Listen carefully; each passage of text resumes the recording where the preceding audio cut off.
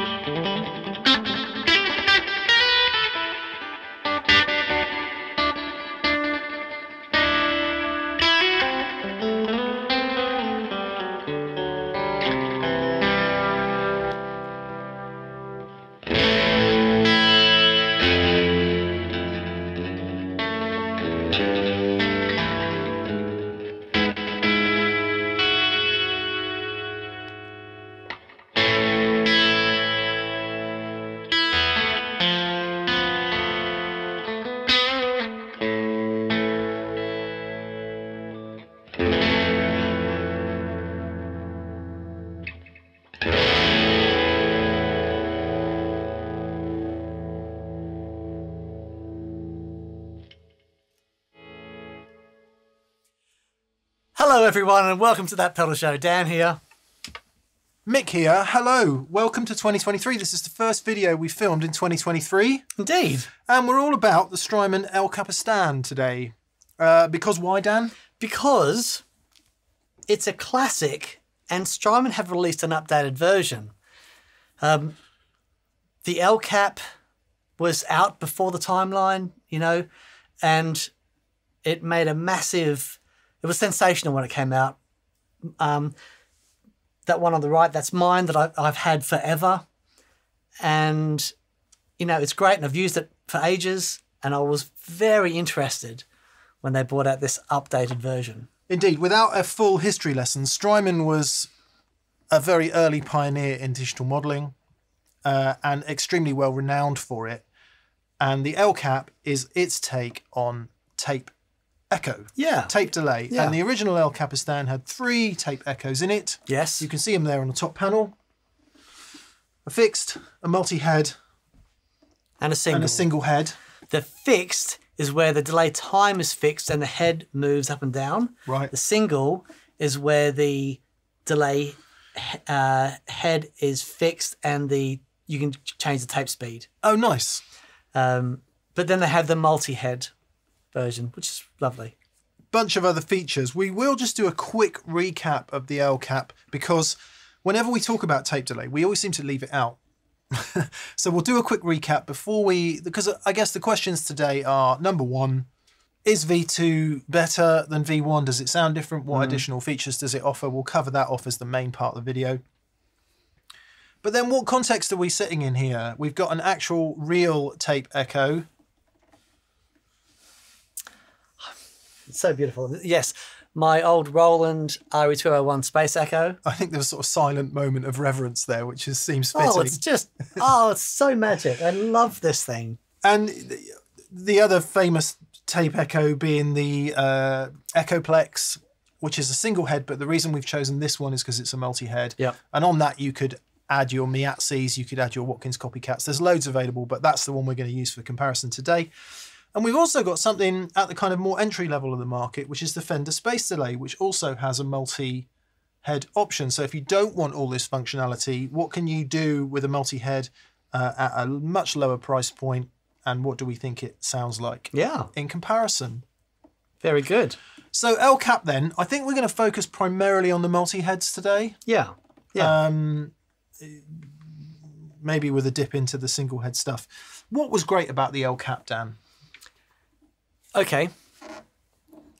So before the El Cap was like the DL4, and that was that was the first time we'd heard lots of different tape emulate, lots of different delay emulations in a pedal that you could emulate, and it's it's great. It's still great. Still Yeah. sounds great. Sound all its own, isn't it? It really is. It really is. Just mentioned Bill Frisell in passing as a as a very famous Line Six DL4 user. You always know it's him. You always know it's the DL4. Yeah. Um, and the El Cap was what I loved about the El Cap was it was a this is we're just doing tape delay. Uh, we're not trying to be everything to everybody. We are going to go to the nth degree about what is fantastic about tape delay. So, um, you know, we're talking about Strymon before. So Strymon, there was a company called Damage Control, which basically started Strymon off, and uh, Pete Celi Yep. um, the designer, it was the first sort of, for me, it was my first uh, understanding of the nth degree that he will go to to get things right and the, how he understands what's going on in these units Yeah. to create the sound and that he gets, you know, in that thing. Fair to say it was a step change from, from previous digital modeling, Absolutely. wasn't it? Also, Fidelity, the SHARC, functionality. the SHARC DSP Yeah. that they, they had in there. Yeah. So it was super powerful. Um, it was, but still compact. Mm-hmm. Um, but I remember, like you know, in the Tin Spirits days, both Dave Gregory and I both had one on our boards, and Dave played some of the most beautiful solos I've ever heard through using that. that. Let's have a listen to it then. So we're in the multi-head mode here. We'll go. We'll just give you a quick flick through the main features just to kick off, um, with also a look at some of the secondary functions which are available as we'll go through. Where do you start with the El Cap then, Dan? Well, um, so we're running we're running the El Caps in stereo today, so we hear the the whole lovely gloriousness. Um, we've got the super reverb and the matchless left and right. Um, basically,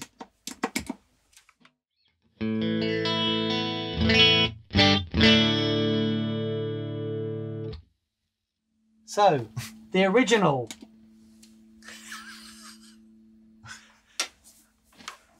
I, you know what?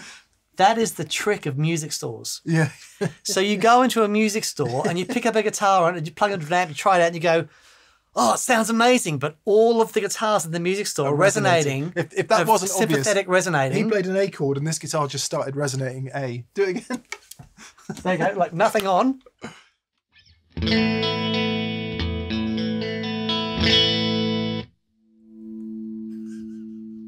It's great. It's great. Awesome. Sorry. Welcome to that pedal show. All right then. Come on then. So here's the yes, the original.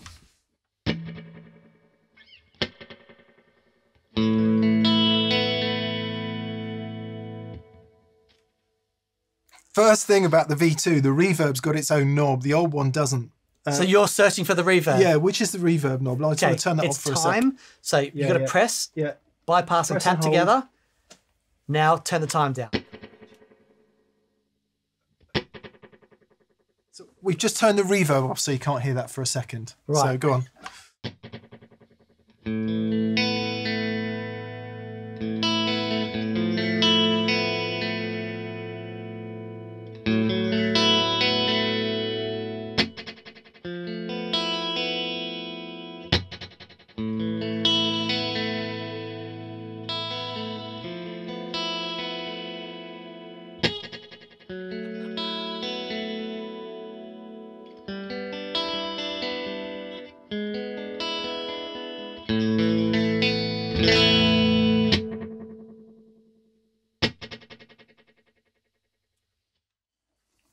Straight off the bat, you've got these two awesome controls, which are features of actual tape echoes as they start to wear. Yeah. So on the original Tape Echo, you wouldn't necessarily have had a control for tape age or wow and flutter. It was a mechanical thing that happened as the tape wore. Yep.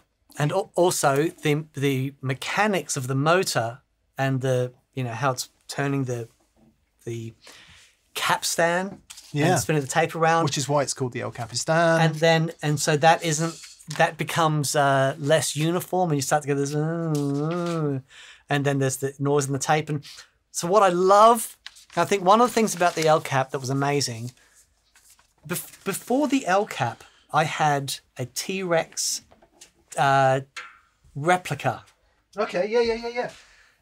fabulous sounding thing I had a T Rex replica. Right, really great, right?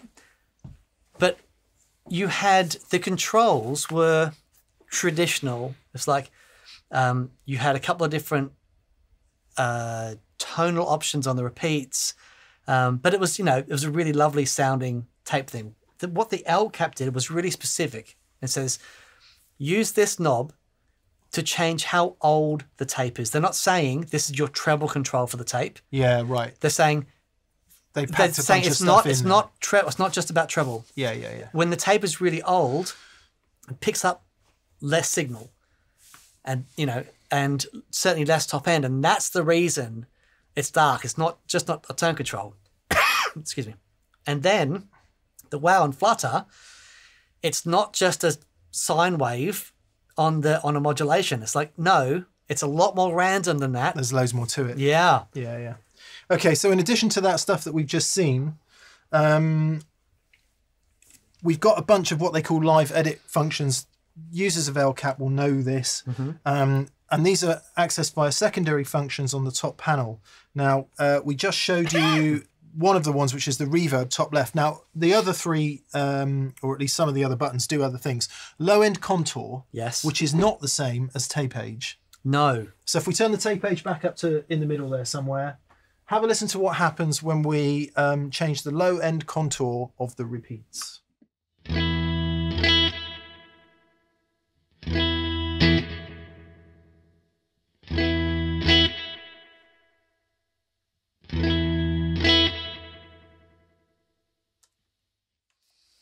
Another one of those tone shaping things that can just really help that delay sit where you want. So also, you know, when you're looking at the space echo, because you've got bass and treble on the repeats, Yeah. so it's lovely that they include the option for that. What's slightly frustrating is that they didn't include what those secondary functions are on the on the box. So you So you've got to get the manual out and, and you know look you through. this. In addition to that, you've got tape crinkle. So, as well as tape age and wow and flutter, you've also then got what they call tape crinkle, which is the Yeah. knackeredness of the tape. It's it how gets- knackered the tape is. yeah, absolutely. and that might happen, for example, when it all spools off. And uh, tape echo owners will know about this, and you sit there scratching your head. I remember winding that tape back on one day. Me and Catherine stood here with tape all around our fingers, trying to get it back in there. awesome. And what may happen as a result of that is some crinkle. Right. So is is crinkle is on the wow and flutter. Right, go.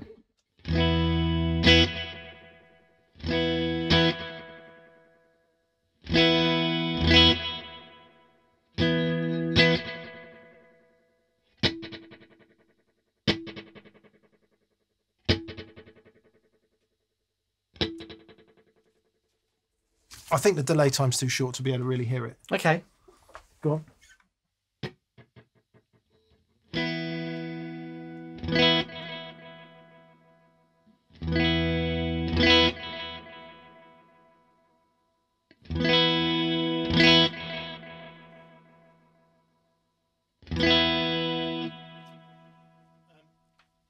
And if you haven't already turned off because this is so boring, uh, we've also got uh, tape bias. Um, machine bias from under bias to over bias, higher bias levels reduce result in reduced echo volume and limited headroom with dirty sounding repeats. Yeah.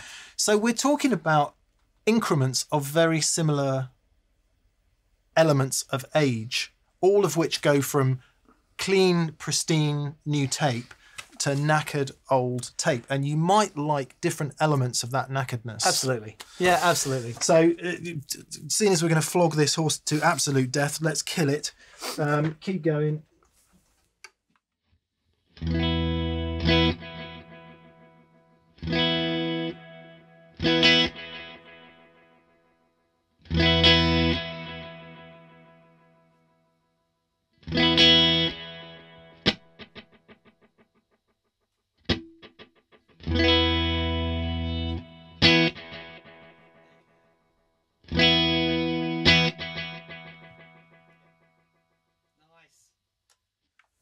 And this is all important because there can be a great misunderstanding between analog delay and tape delay. Yeah. Because we associate a lot of that broken artifact of, of what happens at the end of a Bucket Brigade analog delay.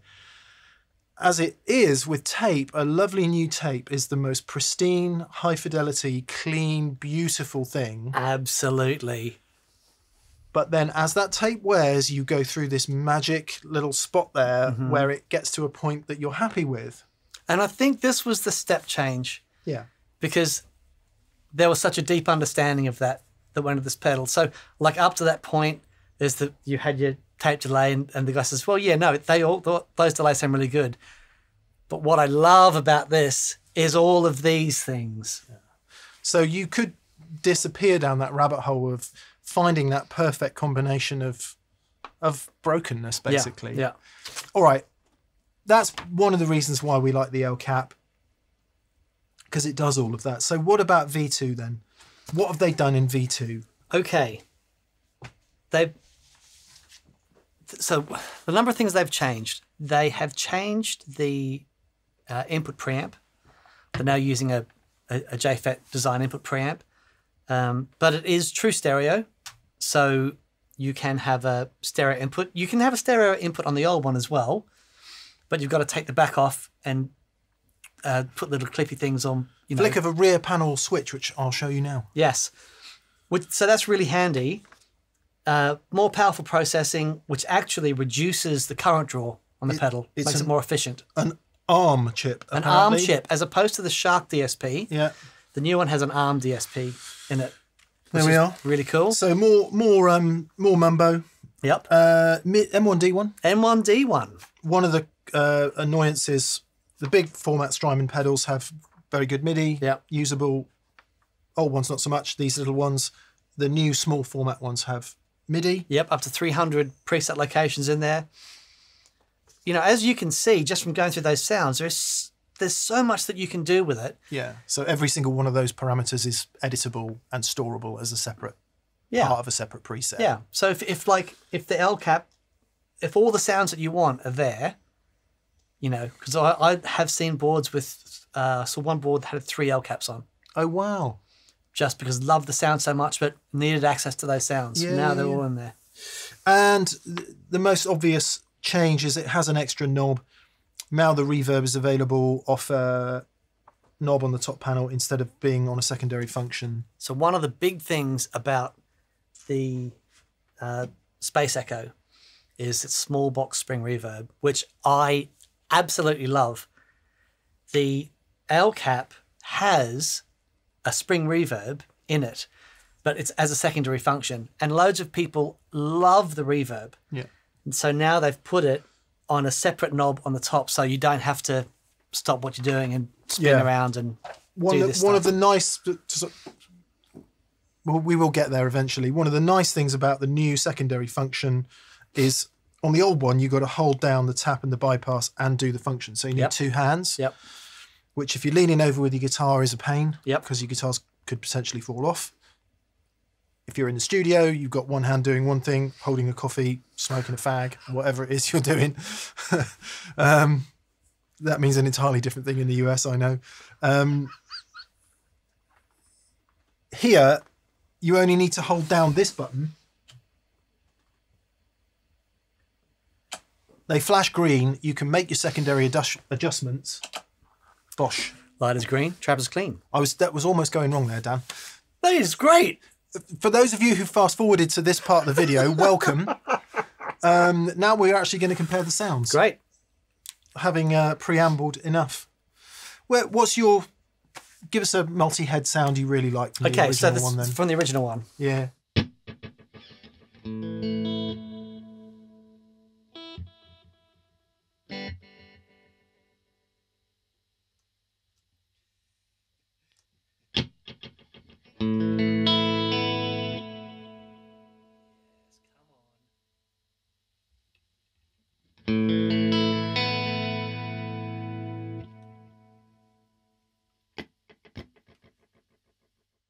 There's the Andy Timmons thing where you'd swear there's reverb on that. Yeah, so Right. the reverb is still off. Reverb's still off, but so this is like without it.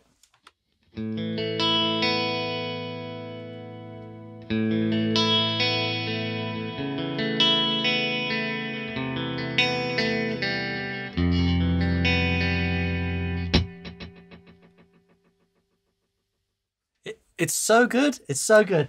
Okay, so now turn the reverb up a little bit.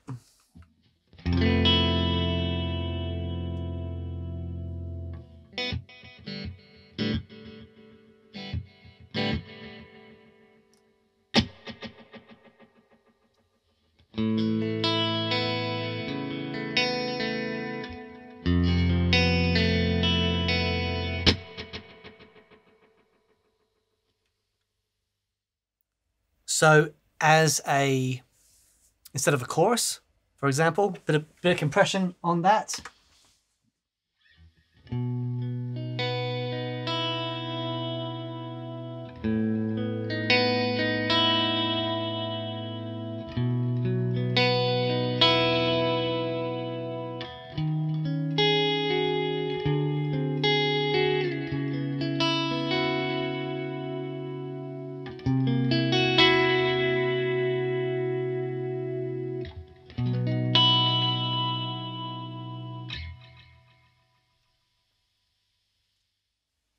Also you can add gain to that and it doesn't uh, there's nothing harsh about it right? So i've add, add a bit of get the mark 2 on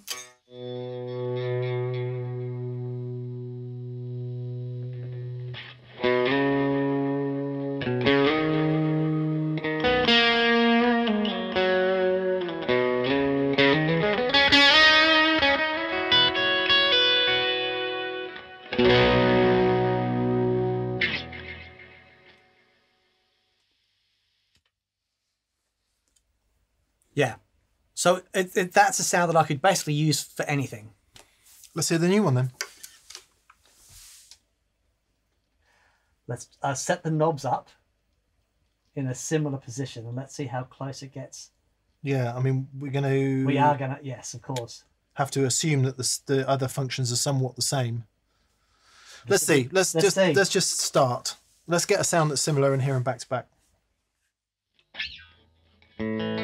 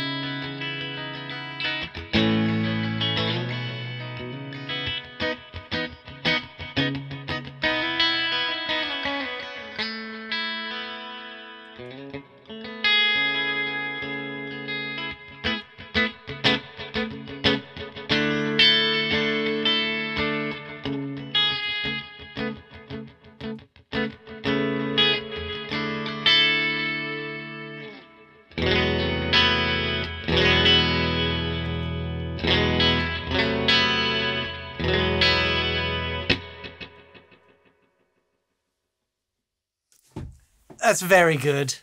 That's very good. How do we know if they sound different? Do they sound different? I think that there is a difference. Yeah, I think there's a, there's a very slight difference, but the one of the things about having those secondary functions is you never really know where you are. No, no, no. Well, that's why I tried It's to. it's really tricky.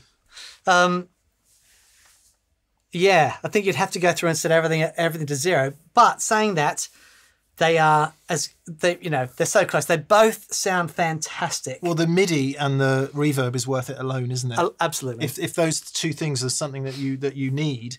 But I guess the point I'm driving at is you don't have to feel too bad about the old one not sounding as good so far. So one of the I think one of the great things about the new one coming to market is if that's a sound that you love and you don't need 300 presets, There's going to be loads of there's going to be loads on Reverb that you just jump on and grab one because they, they really are sensational things. All right, let's um before we move on then, I want to try some of the single head comparisons in a minute with the different Yeah, guitar. sure. Let's hear so we've got that sound set up then. I know it's only one sound among so many that are available from the El Cap, but let's hear what that can do in comparison and what our much more affordable For sure. option can do Okay, in comparison. great. Okay, so the only caveat is these are these are in stereo at the moment.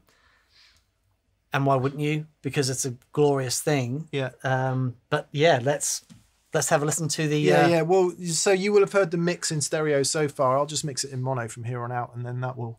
Okay. Well, I'll, I'll pan them straight down the middle so that the the stereo-ness is Okay. is helped.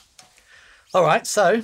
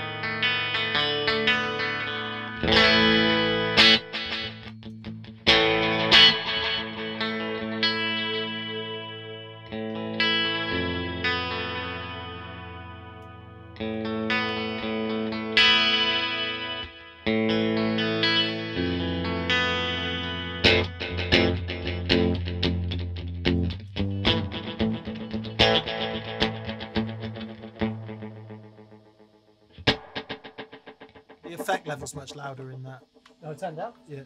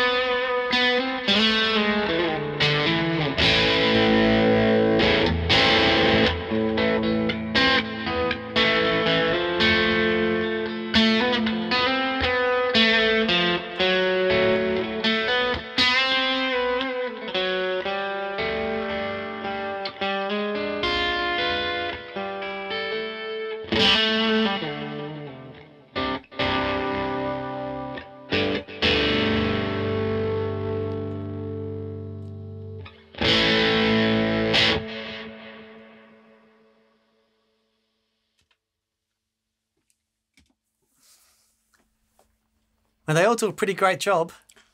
when it's that complex with the multiple heads and the loads of repeats and playing something that's fairly busy, I think the Fender stands up unbelievably well. Incredibly well. There's no doubt that the Space Echo's got a bit more 3D ness to it. Yeah, and we and we always get we always come back to that, don't we? With when we look at the real thing, yeah, um, and it's it's why yeah, they're still very valuable and still very sought after. However, the what these give you is they give you that character without having to worry about you know these things are so fragile and so temperamental. yeah. And, And- there's there are other elements of it where it imparts its own harmonic structure. It does overdrive a little bit, and you might not want that. Yeah, You- absolutely. you might want that clean bell-like. So at the moment, this tape has been through the ringer. So one one thing to note about these machines is, um, the tape is going all the time, right?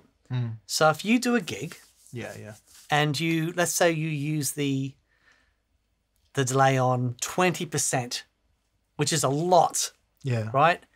But that other eighty percent that you're not using the delay, the tape is still going. Those heads are still getting worn. Yeah, yeah. You know, so they do take maintenance. I, yeah, that ship has sailed, doesn't it? There are people who still do gig with them, but very, very few and far between. Most of the Yeah, places you're just- going to find that now is in a studio somewhere. yeah, And yeah. we know we know people that mix with them and really love them uh, for tracking as well, but also for mixing. And in that environment, they are fantastic. But yeah, on your pedal board, it makes it's it's a no it's a total no brainer, isn't it? yeah, indeed. Okay, um, g- Can I'd love to hear uh, some Strat with it, okay. or you know, or, or a guitar of your choice. No, I'm happy to play Strat. Seeing as we've been hearing single heads all the way, let's compare one of the mono head. Yeah, the, the yeah, from multi heads to, to the mono heads. Okay, Yeah.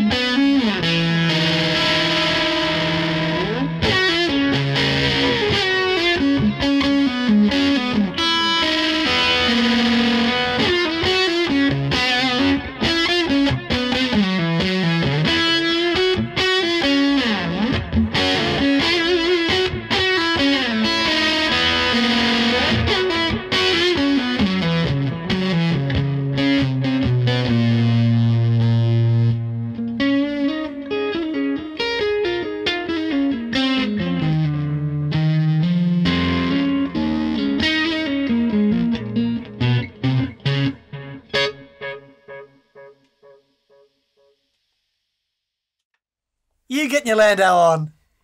Uh, we weren't listening to a lot of the long tail on it there. It was mostly all in the sort of foreground of the repeats, but that's perfectly inspiring. Yeah. Perfectly inspiring. Which we did you were you flicking to the space delay as well? I didn't get to the space No, delay okay. because that's that we had that in. Can that do singles? Mm, yeah, it can. I think. I'm not sure. I think it's in the in the pattern up. I think it's maybe. There you go. Yeah, yeah. Okay. It's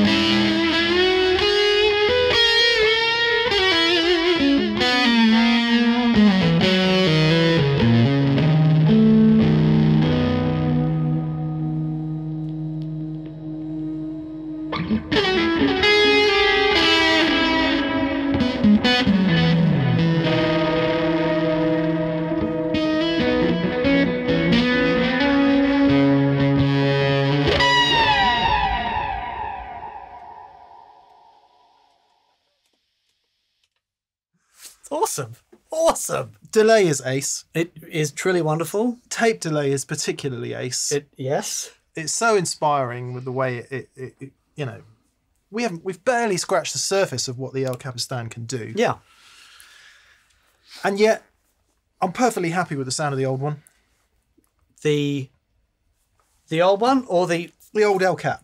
oh the man. I've got no problems with the sound of the old El Cap. Absolutely. So adding that reverb, adding the extra functionality from MIDI, and making the uh, secondary function edit Easier. easier Yeah. are all wins. Tick tick tick tick tick. No question.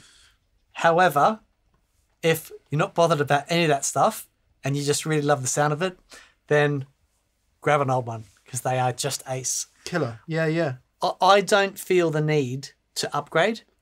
Even with MIDI. Well, because Dan uses MIDI, so I do, but for the, the MIDI, the delay that I use for the MIDI stuff with presets is all pretty uh, textural and ambient.